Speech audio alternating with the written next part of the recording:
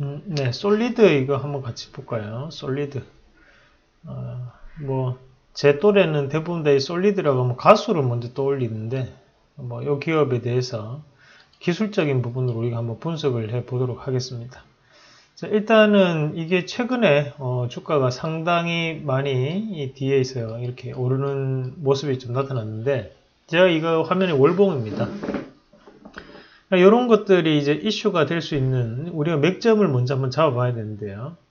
그러면 실질적으로 이제 여기 여기가 하나의 파동, 하락 파동에 대한 부분이 형성되는 거죠. 이런 거는 우리가 해석을 한번 해보면 상정되고 난 다음에 어, 시세가 지금 보면 5천원대에서 만원대까지 약 두 배 정도, 두 배 정도 어, 시세를 내고 그 다음에 여기서 어, 여기 봉이라면 이렇게 맞고 빠지고 그죠? 그 다음에 여기서 맞고 빠지고 그 다음 봉에서 도전을 여기에서 도전을 했지만 음, 내려왔다 도전을 했지만 또 맞고 빠지고 그러면 지금 저항이 여기 한 봉, 두 봉, 세 봉, 네 봉에서의 저항은 어디가 잡힙니까? 요 자리가 상당한 저항이 되겠다 그죠?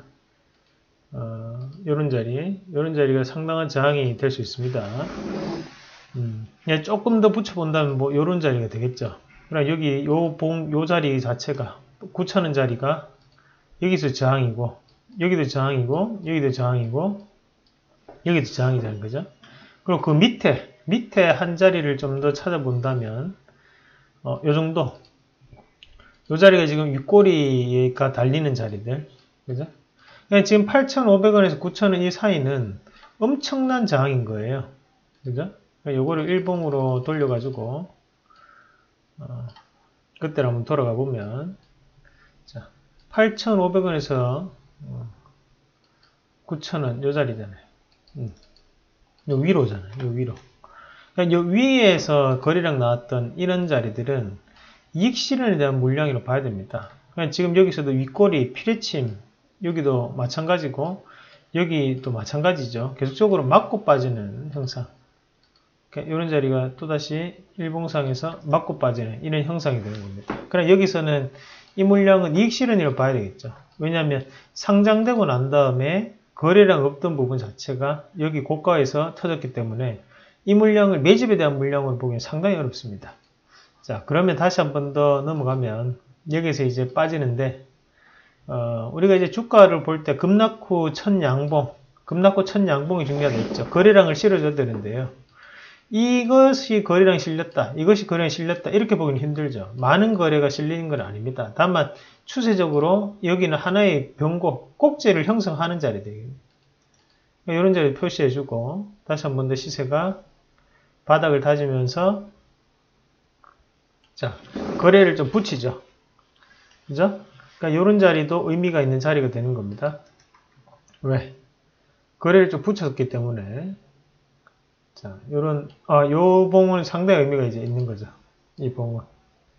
기준봉이 될 수 있겠죠. 왜냐하면, 어, 저가에서 이 정도에 대한 거래량을 붙이는 게 없었잖아요. 근데 지금 여기 이 봉이 상당 부분 튀었다는 것은 앞에서 봤던 우리가 이 4,200원, 여기 계단식에 대한 이런 거래량이 들어왔던 것과 그리고 이 자리가 하나의 맥점으로 지금 현재 작용하고 있다는 거예요. 이런 자리는 돌파가 되면 또다시 상당한 지지권력으로 해석이 됩니다. 그래서 그 자리가 한 4,300원. 이 솔리드라는 기업은 4,300원이 상당히 중요한 자리고 자, 또다시 한번 같이 볼게요. 바닥을 다지고 그죠? 2060원 여기서 지지가 나오는 이유가 다 있겠죠? 바로 여기서 지지가 나왔기 때문에 돌파를 했기 때문에 바닥을 그래서 지지가 나오는 겁니다. 음, 지지가 나오고 자 중간 자리도 한 개가 있어줘야 되는데 매물대로 봤을 때 어, 한 요 정도? 어, 한 3,040원 정도 되겠다 그죠? 어, 자 의미가 있죠. 이 4,200원에 대해서 맞고 빠지잖아요. 그죠? 의미가 있는 자리를 했잖아요. 자, 요런 길을, 우리가 길을 먼저 만들어 놔줘야지만, 어, 주가에 대한 움직임을 예측할 수 있습니다. 길을 꼭 표시를 해놔야 돼요. 그럼 지금 봐요. 여기 이 3040원대가 어떻게 됩니까? 어, 지지와 저항을 바꿔가면서 지지가 이제 형성되면서 여기 이렇게 타고 올라가서 4,200원 다시 지지, 그 지지를 받는 거거든요. 그러나 이런 종목군들은 빠지더라도 나중에 3,040원에 한번 또 걸립니다. 예, 이 밑으로 이제 과매도를 주고 이렇게 상당히 이 3,040원도 강하게 튀어서 올라갈 때는 의미를 둘 수 있는 자리가 되는 거예요. 그러면 이게 자 주가 올라왔다가 빠지죠. 요 이제 4,200, 4,300원 왜 지지가 되는지 알죠? 어? 중요한 자리를 했잖아요. 중요한 자리를 지금 돌파를 했잖아요. 그래서 이건 기술적 반등, 기술적 반등. 자, 이 다음에 또다시 4,200원 내려오면 그때 위험한 거예요. 자, 위험한 거라 했죠. 자, 어떻게 됩니까? 그냥 싹 빠졌다가 저항으로 이제 작용을 하는 거예요. 이 자리가.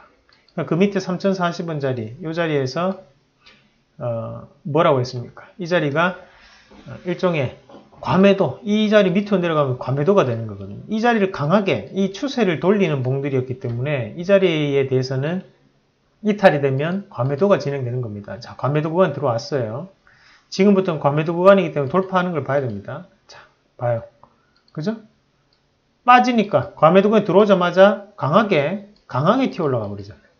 그러니까 이게 2,400원대에서 어, 이게 4,555원까지 약 두 배를 한 달 만에 만들어 버리는 겁니다. 그리고 지금 이렇게 또다시 매집이 이루어지면서 3,040원과 2,000원대 요거에 대한 작은 이런 박스권이 이런 작은 박스권이 지금 만드는 거예요. 자, 3,040원 강하게 돌파하면 또다시 의미를 둘 수 있어요. 자, 이렇게 이해가 되시죠? 자, 이 자리 자체가 돌파가 되자마자 이 자리까지 슈팅이 나옵니다. 그죠? 그리고 주가가 어, 이 자리는 이제 힘이 없는 거예요. 이 밑에를 잘 또다시 봐야 돼요. 3040원 자리. 음, 봐요. 과매도 들어가니까 어때요? 또다시 튀어나오죠. 어.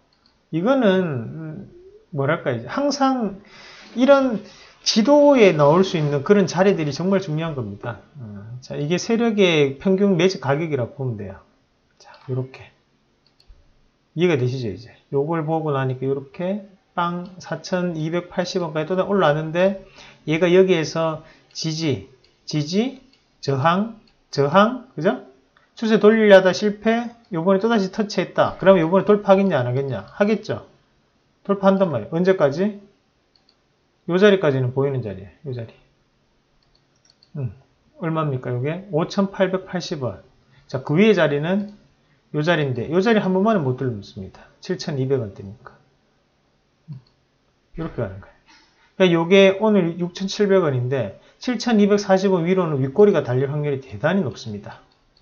어, 윗꼬리 맞고 빠질 수 있는 그리고 다시 한번 여기서 매집을 해서 올릴 수 있는 그런 여건이기 때문에 어, 평균 가격대가 이제 3,000원대에서 6,000원 두 배, 이 5,880원 정도에서 한번 쉬, 쉬었고 그죠? 5,880원, 6,000원짜리 한번 쉬었고 자, 요렇게 분봉을 보세요. 자, 왜 쉬었다고 하는지 딱 요렇게 의미를 딱 요렇게 두잖아요. 괜히 이 차트가 이렇게 생기는 게 아니거든요. 이런 것들이 어, 우리가 월봉이나 주봉을 보면서 일봉이 어떻게 움직일 수 있다라는 것을 예측을 할 수 있어야 돼요. 이게 지금 튀는데 제가 볼 때 한 번 더 합니다. 얼마까지? 일단은 가격이 7,200원 한번 찍어줘야 되거든요. 그 자리를 찍고 난 다음에 변할 확률이 높다.